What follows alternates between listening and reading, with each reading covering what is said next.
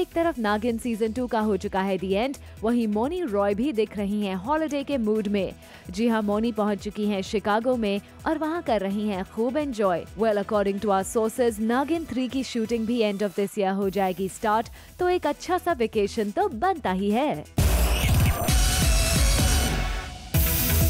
TV star jasmine Bhasin यानी serial दिल से दिल तक की टैनी का लुक समर्स के लिए एकदम सही है।